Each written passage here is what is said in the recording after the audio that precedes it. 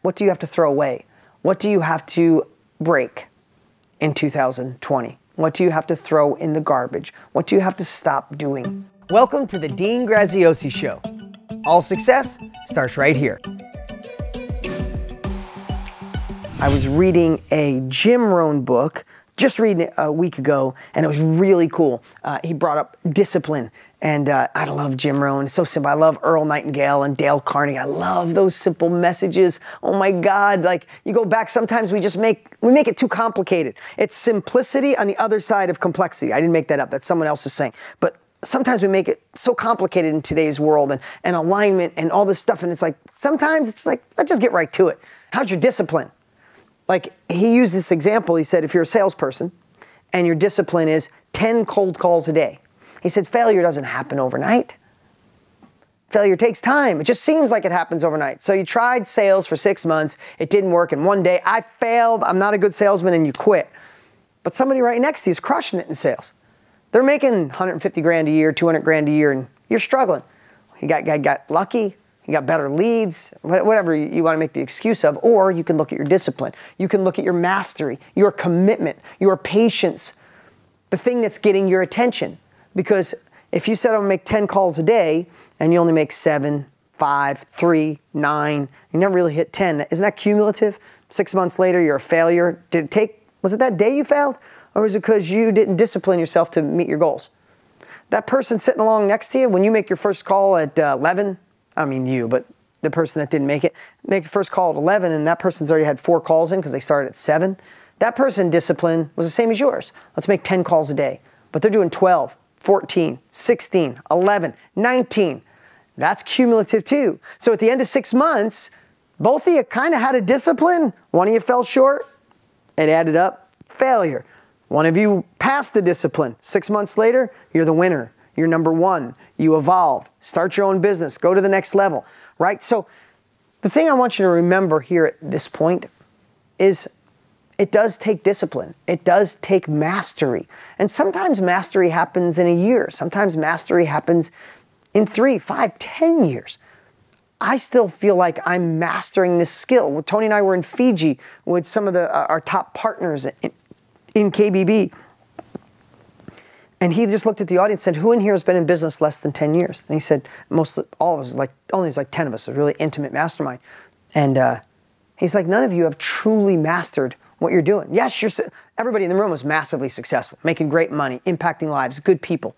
He said, but mastery, just fight for mastery. You guys don't know what it's like until you fail bigger, till the economy boosts, uh, bombs and the bottom falls out. You haven't been, even, haven't been through that yet.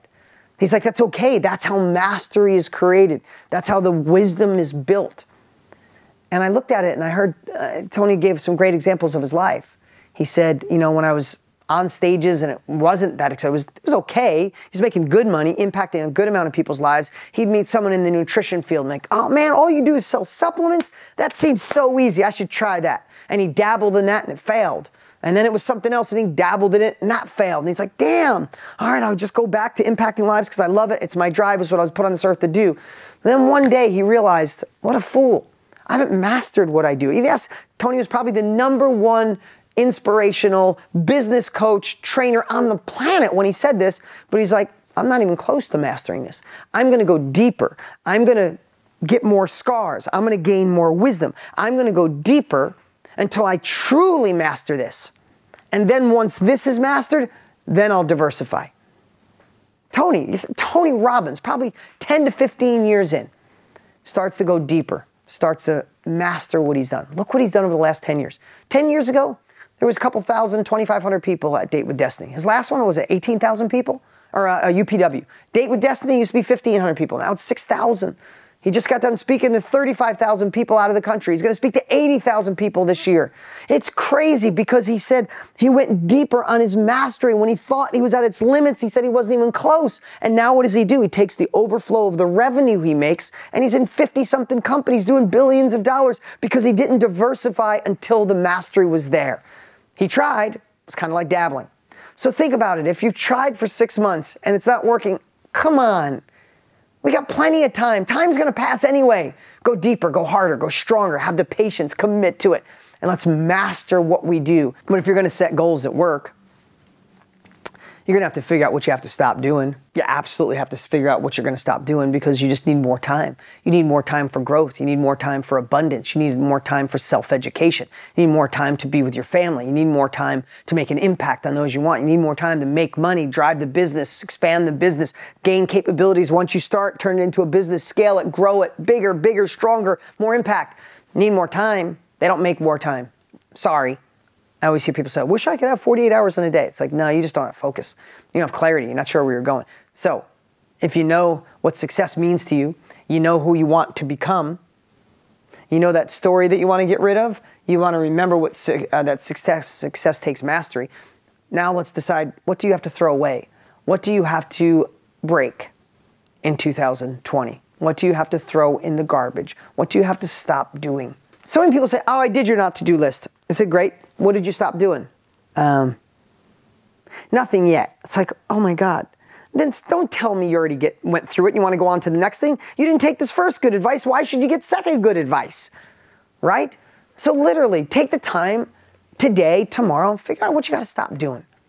Legit. Just just throw it away. Some things are hard. And as just so you know, the more success, and so many of you I know are massively successful. I'm not teaching you how to be successful. I'm teaching you how to go to another level from what I've experienced. And this has been my experience, is it gets harder because the more stuff you throw away, you throw away the easy stuff. Now it's time to go upstream and throw away some harder stuff, or let someone else do it, or get a virtual assistant, or pay an assistant to help you, or get an intern, or automate it, or delegate it, or just toss it in the garbage, make the hard decisions, open up three or four hours a week. Just do it. What is the biggest challenge, fear, or obstacle or decision that you had put off in 2019 that you must overcome in 2020? What is it?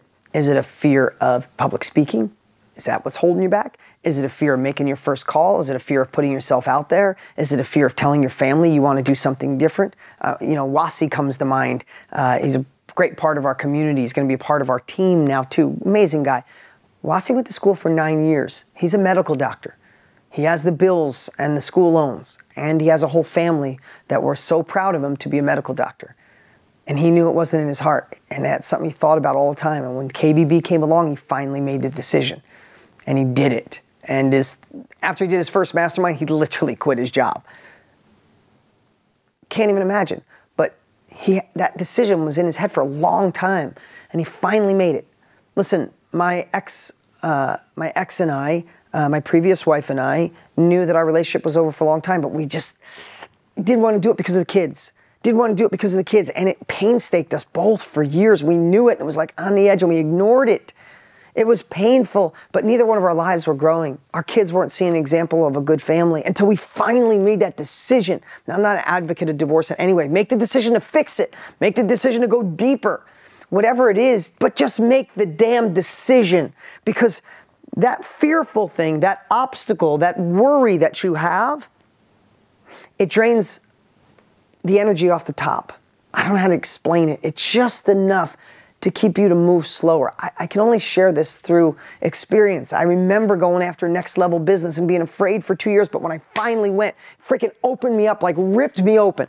When I finally made the decision that we were gonna end the marriage and be friends and, and like, ripped me open a whole nother i became a better human being i navigated new territory i conquered something i conquered my biggest fear you know what it's like standing on the edge you want to jump when you've jumped in your, in your life, even if, if you failed or succeeded, you know you went after it and there's a way you feel. There's also the time you walk up to the edge, you look and you go, not now, and you turn around, and that you know how that feels. And that's cumulative too. And then you start saying no to a lot of things, and all of a sudden you're 90 and you look back and you missed it. Hell, hell with that. You're not missing it. Not on our watch.